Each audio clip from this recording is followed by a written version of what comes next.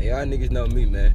Sitting back, chilling, getting to it. But all you niggas that's out here, man, that's in the city, man, that's speaking on me, bro.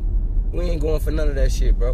We ain't tolerating none of that shit, dog. Y'all niggas out here clout chasing, bro. You niggas get mad because I'm one of the young niggas that's well respected out here, bro. And if you don't believe me, you gonna ask Trick Trick on that shit, nigga. I put in work. I ain't like you other young niggas that gotta prove no motherfucking point, nigga.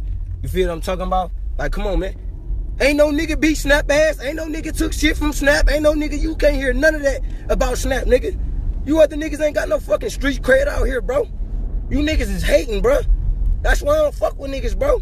Niggas are same niggas that dat me up be the same niggas talking shit. We ain't gonna deal with that shit, nigga. I got a hundred young niggas on GOAT, nigga, who wanna play about me, nigga. Yeah, we focus on the bag, but nigga, we ain't gonna tolerate no disrespect, nigga. Y'all niggas gonna learn, bro.